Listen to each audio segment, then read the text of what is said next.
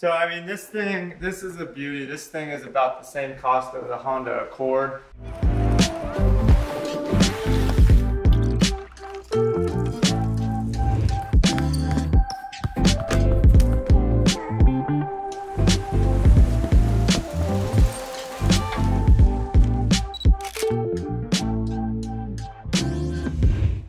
What's up guys? Today I'm in front of this $2 million home that's right behind me in Las Vegas. There's not many times where we come across million dollar homes. I know in the last few videos you guys have seen a couple.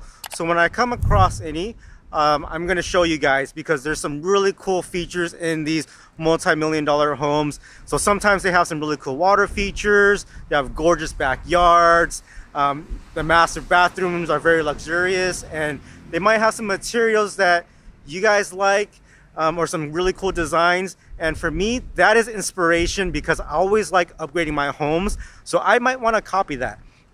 So for some of you guys who are just like me, um, and you guys want to copy that too, you know, you can. You might find something that you really like in these videos. So let's go inside and check it out.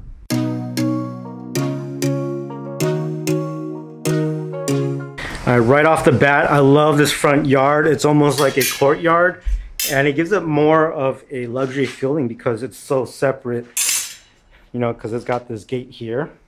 And sometimes the kids or whoever it is can just be out here instead of having to worry about them running into the street. But i'm excited to see inside this house this door is amazing. Um, it's it's definitely higher than normal and it's got that arch. I really love the designs. Just knowing that that's different i know this home is going to be beautiful. Wow. Look at that. Look at this craftsmanship on the hardwood flooring. That looks really beautiful. This is what I'm gonna do today, guys. I'm gonna give you a little bit of a house tour. And uh, I'm here today with my broker. Here he is. This is Ryan. You guys met him in the last video um, when he was at the office. So he manages about over 300 agents and he has about maybe four that work directly with him. And I'm fortunate enough to be number five. So I'm very grateful for you know, being here and he's blessing us with this house so you guys can see it as well.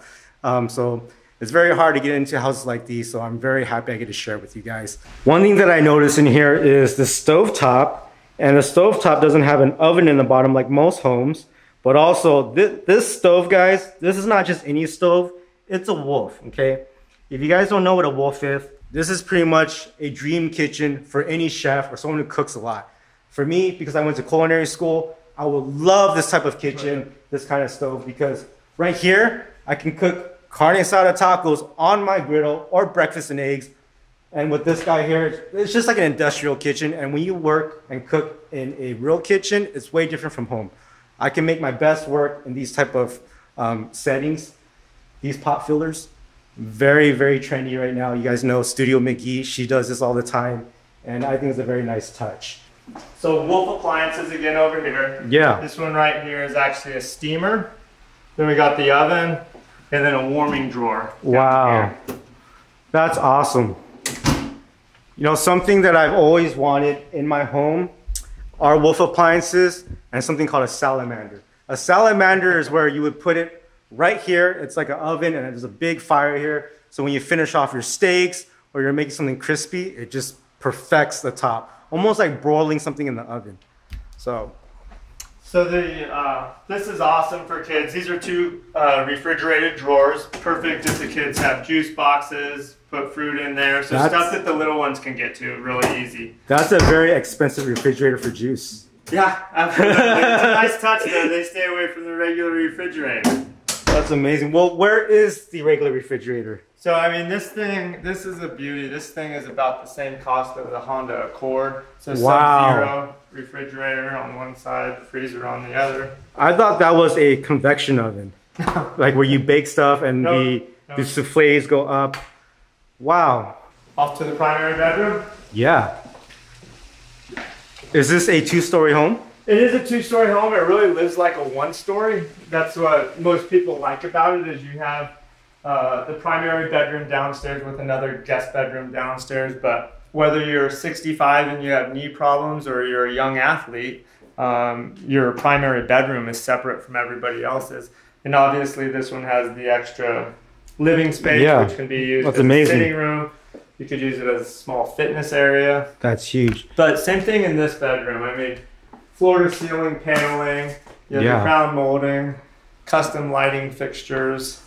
That's awesome. This is what I like about Vegas the most. They have so much space for the master bath.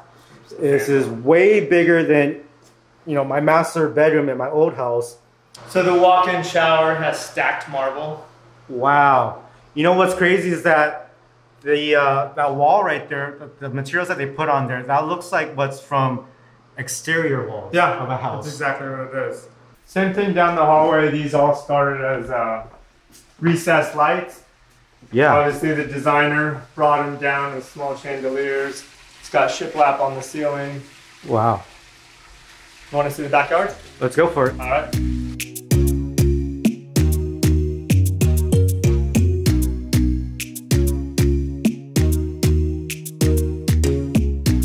So, dual courtyards, it's awesome. Once October, November comes around and you can open up the whole house without it being 110 degrees out. One thing that I did notice is that Vegas has a lot of um, openings to go outside to give it the feel of one whole house. And they're able to do that because there's not many flies in Vegas for some reason. When we are in LA, the moment you open the door, you got 10 flies in your house. But here you can leave it open for a whole day and nothing. So, very low maintenance backyard because of the artificial turf. Yeah. surface of the pool is quartz as well, um, which is easier on the feet than a traditional plaster. You mean inside here is quartz? Yep, the whitish Wow. blue area is quartz. Okay.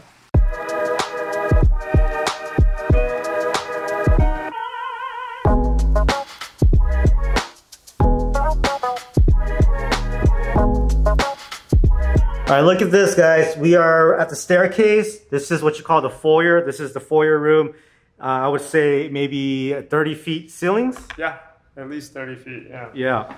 I don't know how to get those spider webs out in the corners over there, but this is nice. You got the wood and the carpet so you don't slip because when my parents stay over, you know, they're going to be on different levels and you don't want them to fall, you know, because they're old, right? So- This is one of my favorite features. It's the upstairs loft, family room. Yeah. Just to get it away from the rest of the house. You have some pretty decent views out the window. Killer view off of the patio. How often would you stay in this, this loft area? Daily. Really? Daily to get away from the everything else. Put on a good TV show, football. Yeah. But then game. your master is downstairs. Yeah, I don't mind stairs. Yeah.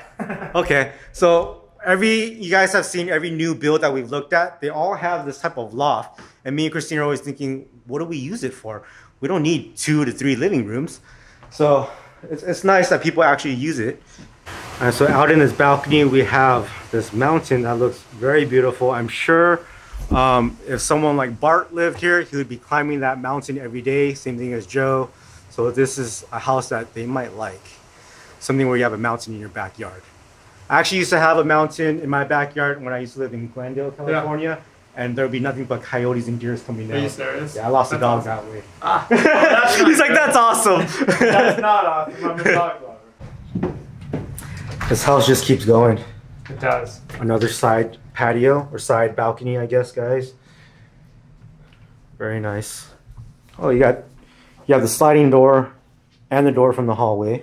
I always have a hard time figuring out which kid is gonna stay in this room with these access to the outsides because I don't want Leia's boyfriends coming in here. I don't want Enzo hopping out and going to a street race, you know. So I'm just saying. I mean, not like I did any of that stuff. All right, guys, so that was the majority of the house. I hope you guys found something that you liked and then you could model it and do it for your home because something as simple as, you know, this backsplash and making that type of design where uh, the tiles are angled, I love that.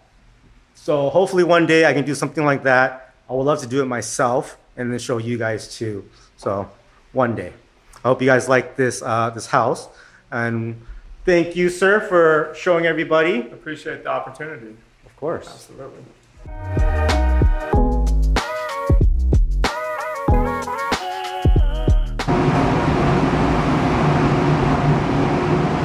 Hello. Hi. Who's that? Who's that? Leia. Hi. It's Leia and me. How was school today? Fun. It was fun. Some chips. You got some chips? Are you hungry? So hungry. Thank you. It was for you. For me. Thank you. I ate your finger a little bit. Sorry. Okay, you want to get out?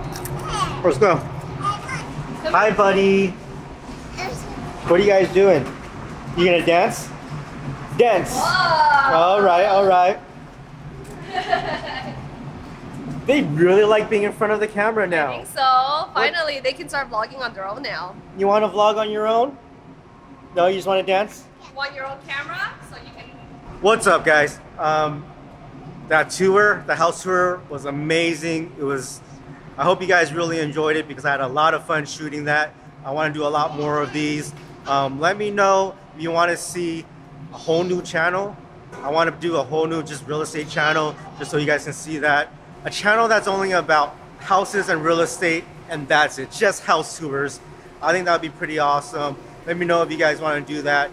I'll start creating one. You guys subscribe to it. Right now, we're gonna eat some all-you-can-eat sushi uh, because we're about an hour and a half after the kids' dinner time. So they gotta be starving. Christina suggested, I mean, she's starving. And uh, today, Leia is three because kids three and under eat free. So we got a three-year-old today.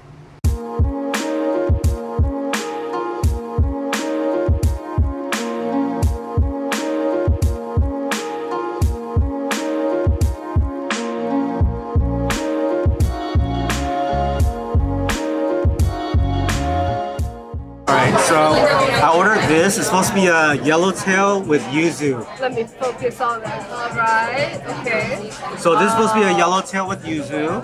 I didn't know it's gonna be a big fat jalapeno on it. Yeah. So I can smell the yuzu. Okay. It's very light. I don't even want to dip sauce on it because it's probably got a lot of flavor. Yo, Really? that's really good. You gotta try it. Okay. Mm. Okay, so it's got the yuzu pepper. So it's got like a vinaigrette type flavor with some peppery. A jalapeno kick. The jalapeno is so thin that it meshes with the meat. That's really good. You try it, no soy sauce. But Christina can't handle. Nope. Sorry, it almost came out. Christina can't handle a lot of uh, yellowtail and tuna, but I want to make her try this. Okay. No soy sauce. No soy sauce.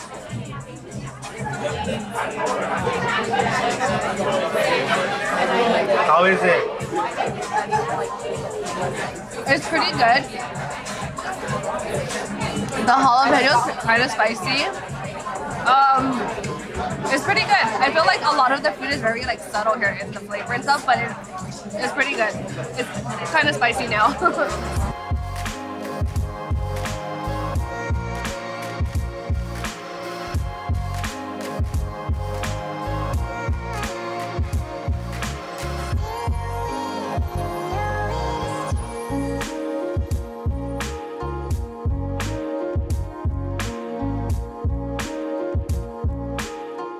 food that the kids are eating right now is this. It's a salmon kama, which is a salmon collar.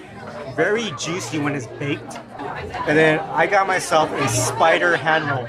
That's a blue soft shell crab that's been fried, made into a hand roll. That's like my new thing that I love eating every Japanese place I go to. They say when you love somebody, you share your favorite food. wow, thank you. It looks really good. I just didn't want to get really full from this. It's so filling. It sounds crunchy. Mm. Oh, it's good. It's really good. Is it hot?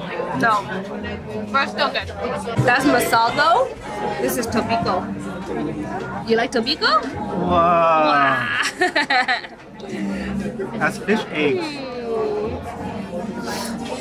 Hmm. You like it? wow. Big bite, big bite, big bite. She's working her way into it. You can do it, Leia.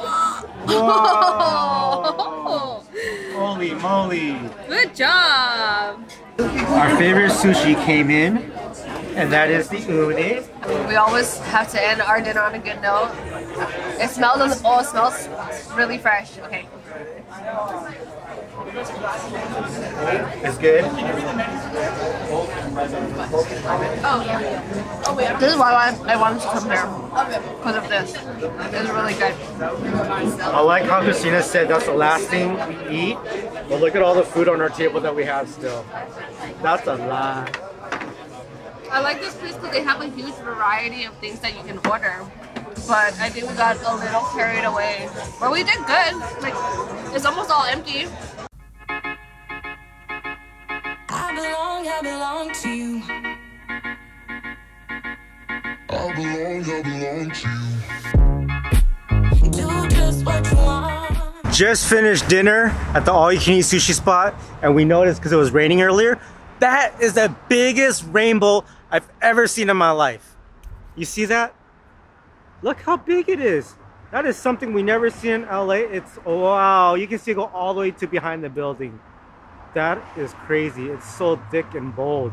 Do you see it, Leia? You don't see it? It just says I see it and I love it. Really? Leia says she doesn't. Are you sure you don't see it? All right, guys. After a nice all-you-can-eat meal, we are back at another home. This guy is almost two million dollars. Uh, this one is located in Summerlin, uh, in a gated community. I really like the gated communities. Um, the last one we went to, I wish I showed you guys, but they had a security guard. I had to get a parking pass and put it on my uh, front windshield, almost like as if I was going to Disneyland. So this one wasn't so much, just a regular gated community. But we're looking at right behind me a uh, four bedroom, and it is about 2,500 square feet. So it's gonna be very, very nice, and I'm excited to show you guys. So let's go inside. So we got a two-car garage, and in the front of the home, you know, it's a, I would say a little bit of a, I don't know if they call it a courtyard in the front. Um, we have one of those for our house, and it's on the side. So I believe yes, it's called a courtyard as well. So I am meeting um, someone from my group. His name is John, and he's the one who is listing this house for sale. Ooh, this is a beautiful home. Look at this amazing open concept large living room and you got the kitchen and a dining table right behind it. It's very very nice. I think my favorite part about this house so far i initially just walked in I, I was gravitating towards the floor. The hardwood floor is so nice. And you see this oh it feels great. You can feel the texture. A lot of times you don't even get to feel that. That's nice. Hello. Hello again. How you guys doing? So guys, this is this is John. I think you met him in the office, and uh, this is the house that he's listed for sale. So in our group, we are so active. There are so many homes. You guys, if you want to hit up John, uh, you'll see the the website link in the description box, so you can click that. Check out everyone in our group. Everyone's got so many active listings. So if you guys are interested, just take a look. I love this right here. Is this the three door? They call it stacking door. Stackable sliders. I'm so excited because I actually have this for my house too, and I haven't been able to open it yet. So, oh, that's nice. When they built it, there's actually like a pony wall bar here, Okay. two pillars that go to the ceiling, and then this whole area is like its own little area. Right. The uh, person who originally purchased this house had it custom made where they didn't do that here, so it was a nice big open floor plan. That person fell out of escrow, and then my client bought the house. So my this is a one owner property. Nice. There's only been one owner so far. Is this up here? Is that a design or is that where the uh, the vents are? Up here, it's Yeah. a design. Whoa, nice. I love how it, ha- it adds dimension to the ceiling. I really like that. I did notice that um, a lot of Vegas homes have fans. Um, well, because it's so hot out here, right, guys? But they make their fan, their ceiling fans look so nice. It's not like back in LA where it's your grandma's house. This is a really nice ceiling fan. It looks expensive. Let's take a look at the master. This bed. Look at that. I have not seen a bed like this before. Um, usually you see it with just four of the poles and then it goes across like a square. But I really like how this kind of has its own little design. It's really good spacing. Look how big this master bathroom is. Oh yeah. See, anytime you add those glass doors, it becomes luxury.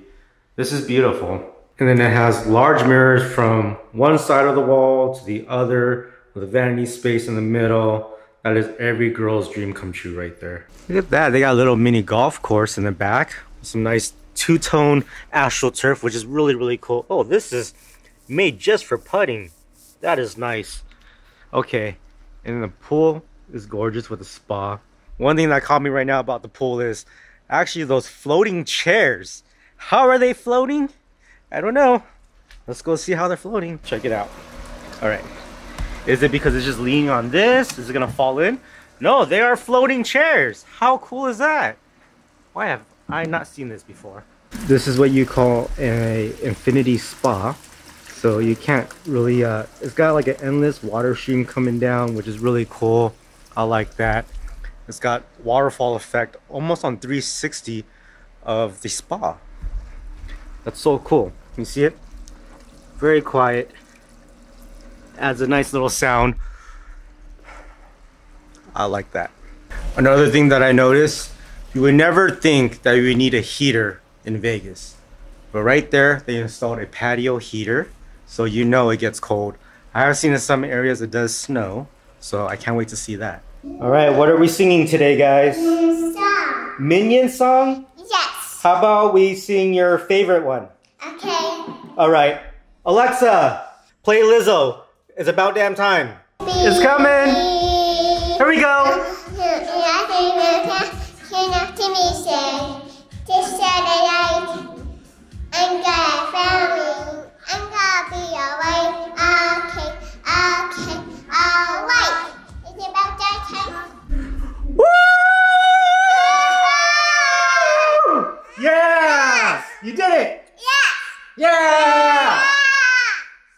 Right, Leia. Say thank you. Thank you very much. Thank you, thank you very much. And say goodbye. Goodbye. Say thank you. Thank you. Say I love you. I